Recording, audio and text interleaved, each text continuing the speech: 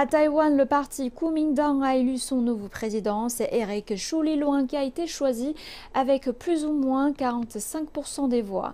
Environ 370 000 membres de Kuomintang avaient la possibilité de voter et un peu plus de la moitié a effectivement voté.